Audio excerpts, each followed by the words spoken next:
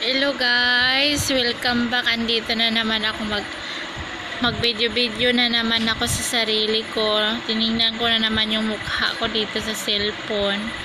Medyo emotional talaga ako ngayong araw na to, umaga ha, hanggang ngayong gabi.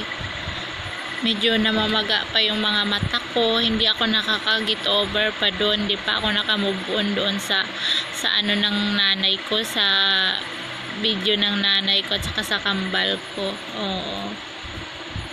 Sa tuwing may mag-comment, sa tuwing may mag-message sa akin, ay grabe pala yung pinagdaanan mo sa buhay, no? Pati dyan sa ano, sa marriage life sa Pakistan. Oo, sabi ko. Oo, ganun na siguro yung tinadhana sa akin ng Diyos, sabi ko pero wala tayong magawa. Lahat ng ano lahat ng binigay sa atin hindi naman siguro ibibigay sa atin kung hindi natin kaya di ba? Yun lang dasal lang sa papasalamat ako sa inyong lahat sa nanood sa video sa nag-comment sa lahat. Hindi nyo ako iniiwan. Sinusap, salamat sa pagsusuporta. Nagpasalamat talaga ako talaga sobra sa inyong lahat. Mm gusto ko kayong isa-isahin puntahan kayo para lang mapasalamatan ko kayong lahat sa pag-support talaga sa akin. Grabe. Nakakatuwa kayo nakakataba kayo ng puso talaga. Kayo para yung yung dati walang walang saya yung buhay ko.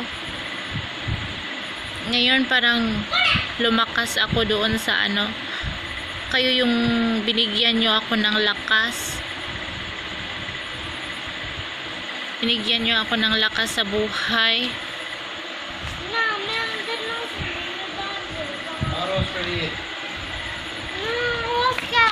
Binigyan nyo ako ng lakas sa buhay na ano.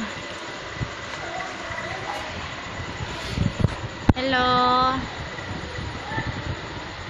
Say hi uy say hi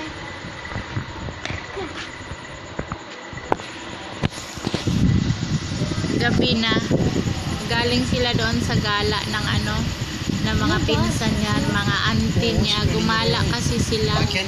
Gabi na ngayon. Oras oras ba ngayon? Hindi ko makita. Ano? Wala sa mood inaantok yung anak. Yun lang guys. Nagpasalamat ako sa inyo talaga sobra bukas magbibideo ako ng ano ibang kwento hindi ako nakabideo ngayon ng ng ano ulit kasi nga maging i- sentimental ako emotional talaga ako mula kaninang umaga tinamad parang parang akong sinakluban ng lupa at langit ngayong araw na to oo Grabe. So, sobrang saya ko. Walang pagsisidlan ng saya ko. Yun bang, nag-aalmusal ka, huwag ka makulit. Nagkakapi ka, yun ang makita mo. Bumubungat sa mukha mo. Mm-mm. Para bang puputok ako sa kaligayahan. Mayroong tumulong sa nanay ko, saka sa kambal ko yun. Salamat guys. Kasama ko pala yung mga anak ko ngayon dito sa ano sa video yung picture yung nung aid nila. Hindi kami kompleto kasi nga ano busy yung tatay ganito ganyan. Thank you guys. Bye. Salamat.